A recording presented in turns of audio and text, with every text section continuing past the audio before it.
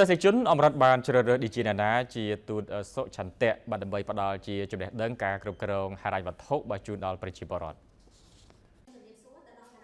លោកដុសឌិនអគ្គនាយកនៃគ្រឹះស្ថានមីក្រូហិរញ្ញវត្ថុអមរិតបានលើកឡើងនៅក្នុងឱកាសចុះហត្ថលេខាថា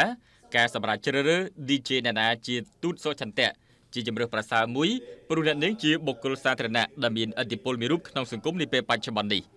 អ្នកនាងជាបុគ្គលសាធារណៈនិងជាពិធីការនីដែលមានប្រជាប្រិយភាពហើយអ្នកនាងក៏ជាសក្តិស្ត្រីដែលមានទំនុកចិត្តម្នាក់និងជាអ្នកផ្ដល់មតិលើកទឹកចិត្តដល់សាធារណជនក៏ដូចជាឧត្តមភរិយាល្អម្នាក់ដែលមានគ្រួសារមួយដែលកក់ក្ដៅលើបានបន្ថែមថាក្នុងនាមជាទូតសុឆន្ទៈអ្នកនាងពិតជាអាចជួយឲ្យអមរិតសម្រេចនៅបេសកកម្មរបស់ខ្លួនក្នុងការផ្ដល់ព័ត៌មានដ៏មានតម្លាភាពនិងគ្រប់គ្រាន់ទៅកាន់អតិថិជនប្រកបដោយភាពវិជ្ជមាន ក្នុងឱកាសដដែលនេះ DJ Nana បានលើកឡើងថាគ្រឹះស្ថានវិការហិរញ្ញវត្ថុអមរិតគឺជាស្ថាប័នក្នុងស្រុកមួយដែលមានការគ្រប់គ្រងពីសំណាក់អតិថិជនទាំងនៅទីប្រជុំជននិងជនបទហើយស្ថាប័នតែងតែផ្ដោតសំខាន់ទៅលើអតិថិជនដែលមានចំណូលទាបនិងមធ្យម